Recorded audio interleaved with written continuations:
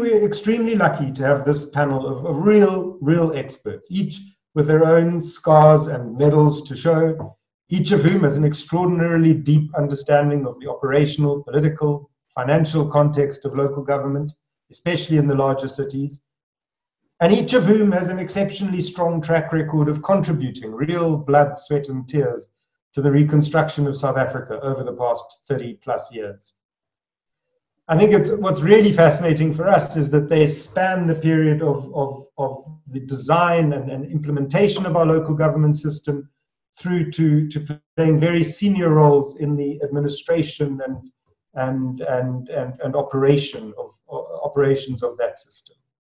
So I'm not going to say more about them. They'll speak for themselves briefly. I'm just going to briefly introduce you now to the Cities of Integrity Initiative which is part of the anti-corruption evidence research program funded by the UK government. Uh, it's driven by the African Centre for Cities at UCT, together with CURP, the Centre for Urban Research and Planning at the University of Zambia. Uh, the leaders of the project, the research leaders, are Professors Vanessa Watson and Gilbert Siame. And the project focuses primarily on South Africa and Zambia with a, a, a view to expanding to the the, the, the region, the, the whole region.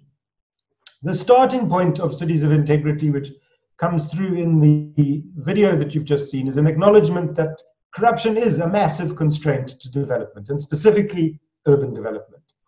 Um, you know, the, we, the, surveys that have been carried out show you know, globally, one in five people have been asked for a bribe to receive a municipal service, a public service in a city. In, in sub-Saharan Africa, it's one, one in three. Uh, Transparency, Transparency International's 2019 survey showed that 64% of South Africans, 66% of Zambians believed that corruption was inexorably worsening in their countries, not improving. And that's in a context of sub Saharan Africa, where real estate, this was uh, made also in, the, the, the video we've seen, is the largest category of foreign direct investment. It's one of the drivers of our economies. And, and partly linked to that is that we have five of the 10 hottest urban land markets are in African cities. So the, the, the, the, the, the seeds for corruption in the urban development process are, are, are very well planted and well watered. Uh, for example, I've been working recently in Kigali, where peri-urban land that is converted into urban land increases in value by more than 1,000 times. So the, the windfall profits are, are massive. So our, project starting point is that corruption in African cities has to be tackled. It's a key challenge of our time. But we have, we've chosen to focus on a, on a particular angle, uh, a slightly different angle to the conventional angle of detecting, policing, and punishing corruption. These are really important, and we, we don't want to take take our eye off those balls at all. But we've we've also we've opted to explore the potential for building professional integrity in the city building process, uh, with a particular focus on the urban planning profession. Our contention is that without concerted efforts to build and strengthen accountability within the key professions involved in urban development, the other efforts will be severely compromised, not least because of the, the particularly pernicious and universal character of corruption in the urban development process. And I think that we, we want to emphasize that we certainly don't characterize corruption uh, in urban development as a uniquely African problem. It is very, very clearly and, and, and, and, and obviously a, a universal problem. It's part of the, the ways in which cities grow and are managed. But we, we argue that given the context of Africa, the, the rapidly urbanizing context of Africa, it's, it's essential that we identify the strategies that can tackle it effectively.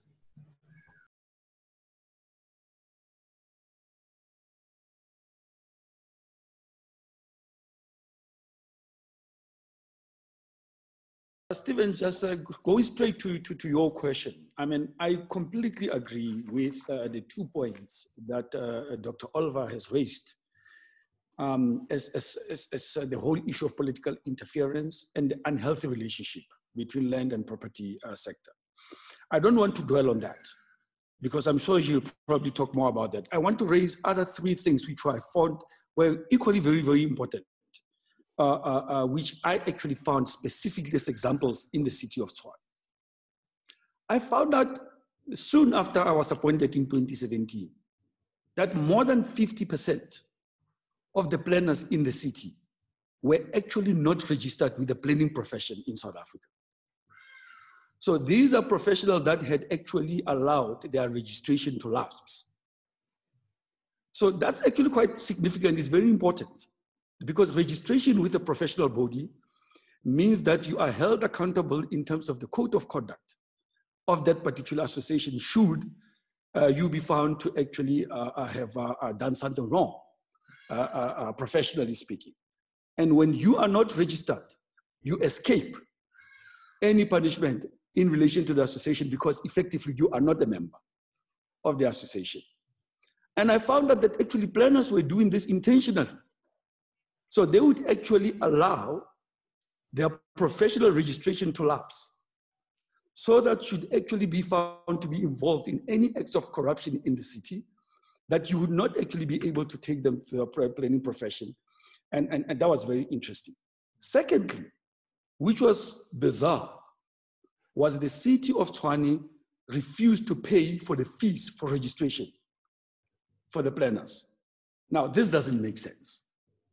Uh, it does not make sense because it means that uh, in that case where one of the senior planners, or even the, uh, the city planner for that particular matter, uh, if it's involved, he or she's involved in an act of corruption, you will not be able to actually uh, uh, uh, take them to their professional body and to be able to make sure that the code of conduct is applied to them, um, you know, accordingly.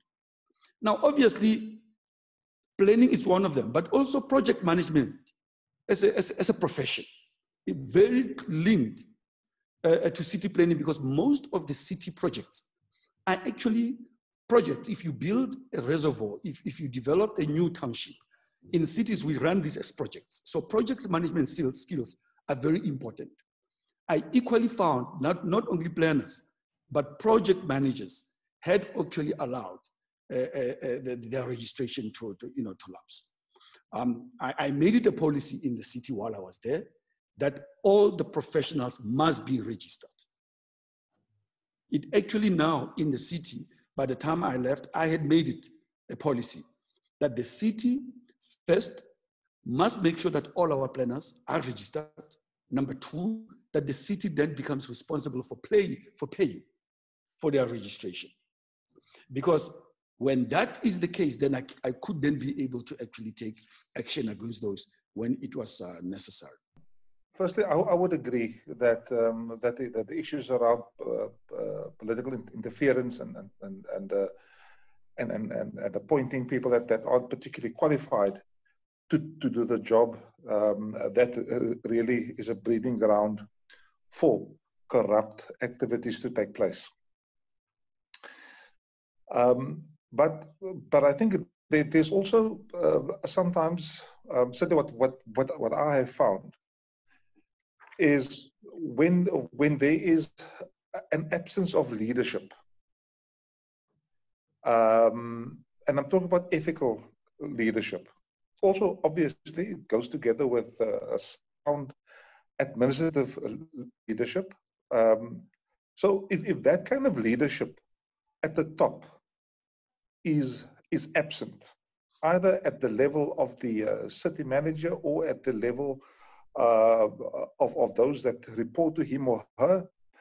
Uh, similarly, on the political side, whether whether whether it is the it, it is the, the executive mayor or or members of the mayoral committee or, or the executive council, where where that kind of leadership is lacking, you find that um, the the the the uh, the breeding ground for corruption exponentially increases. I'm not saying you've you've mentioned the scars. Um, I'm not suggesting that it is plain sailing. I've, been through hell and I've got the ashes to prove it, as uh, Jim Steinman said. Uh, so, so one must be able to to to to not uh, to not only recognize that these are the typical instances of, of, of corruption, but one must lay the foundation, the this and give people the space to operate ethically and in good faith because the good faith part, which I think is often under under uh, or not uh, emphasized enough, um, that all of these matters matters are done in good faith. If, if people act in good faith, if politicians come to you in good faith and uh, they happen to ask about a particular issue, then one can handle that in the normal course of events. But it is often the bad faith part, where if you don't do this, then I will make sure that uh, that that this happens, or you know, you won't be uh, reappointed. If you want to look where the real value is that local authorities are creating, it's in land and land enablement. And from a corruption perspective, we tend to ignore it. Um, it's something that the Auditor General doesn't easily get to look at because there's no money. I mean, you know, you may pay a, a license fee, an application fee, but there's no ways that the Auditor General can measure the value that's being created indirectly. There's no transfer of money from the municipality to the private developer. So if you're wanting to fiddle uh, and do backroom deals, let me tell you, land a much better place to get involved in. Um, uh, uh, uh, just for those of you that are, are taking notes. so I was, I was intrigued um, as to what I would find in Cape Town. And the first thing, and this is just to reinforce a point that Moeketsi's made, the, the incestuous relationship that exists between the big property developers and the planning departments in the city uh, is gobsmacking. Um, the, the people employed by the, the developers, same thing I found, Moeketsi. Uh, they're all former city officials. So, that, I mean, they go out and they deliberately look for people that know how the system works and they know how to walk the corridors.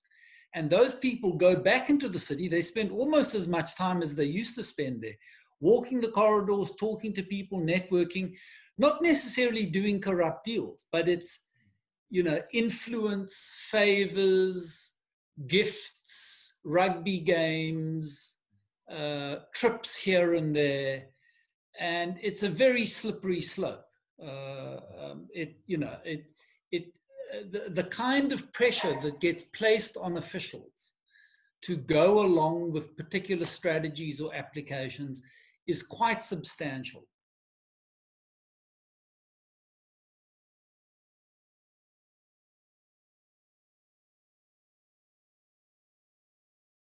Um, but certainly they, they, they, uh, uh, they do exist. The, the difficulty is really, if, if you are not operating, if you are ethical, but you're operating in, an, in a disabling in, uh, environment, in a disempowering environment, then you start to stick out like a sore thumb. The issue of leadership is quite important. And a lot of this, what I found out when I got into the city was there was a general culture of fear of officials who were seriously bruised. They had seen their colleagues fired. They had seen their colleagues disciplined for refusing to implement, quote unquote, apolitical instruction. So these are guys who are very, very edgy. So, like Johann did, what I did, I made myself a fall guy. So I instructed all the heads of my department. If you are having enormous pressure from your political principal, tell the political principal it is the city manager who instructed me to do so.